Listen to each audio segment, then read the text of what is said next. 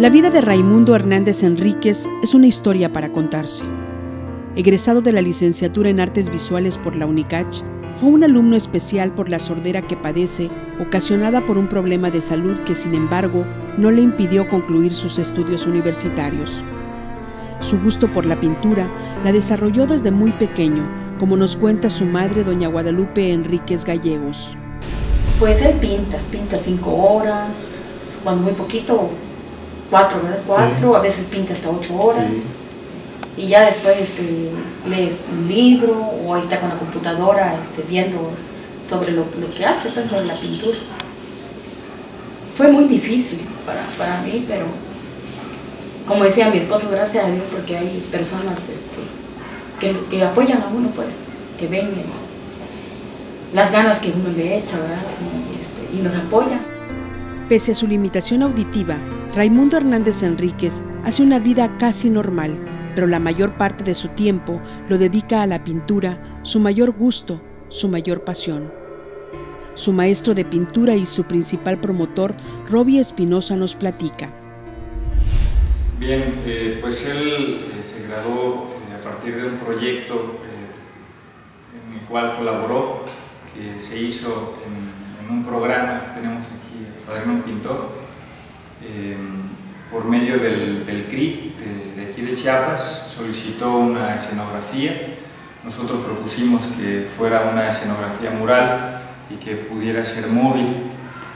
propusimos un formato bastante grande, 11 paneles de madera de 1,22 por 2,44, pues algo así como, como 15 a 20 metros este, de largo por otros dos, son casi 30 metros cuadrados. Y estuvimos trabajando en ese proyecto durante mes y medio aproximadamente y él fue uno de los colaboradores eh, oficiales del proyecto, hizo una memoria de, todo el proceso, eh, fueron algo así como 10 eh, alumnos que estuvieron trabajando eh, durante todo ese tiempo. El maestro de varios años de Raimundo también nos platica de las cualidades del unicachense. Eh, me dio la posibilidad también a nivel de, asesor, pues, de tomarlo también como, ejemplo para muchos, pues teniendo entre comillas todas las posibilidades, pues a veces pues simplemente te tiras al suelo y dices, no, pues no puedo hacer esto, no puedo hacer lo otro. Entonces ver a alguien que pues, no utiliza sus, sus, limitantes, al contrario, pues busca sus fortalezas y de ahí se agarra, pues es un gran ejemplo para nosotros. Raimundo Hernández Enríquez participó recientemente en la creación de murales como el del culto al maíz que fue instalado en Villaflores, donde recrean el trabajo del campo de hombres y mujeres de la región frailesca de Chiapas.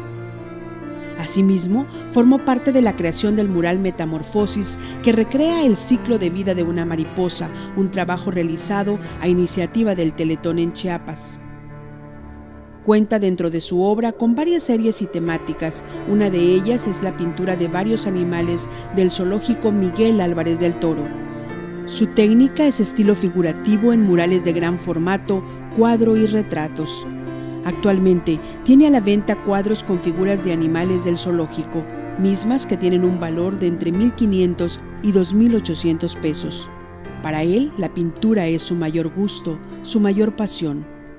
Como muchos otros jóvenes que estudian, que se esfuerzan cada día, Raimundo Hernández Enríquez es un ejemplo a seguir y es orgullosamente unicachense.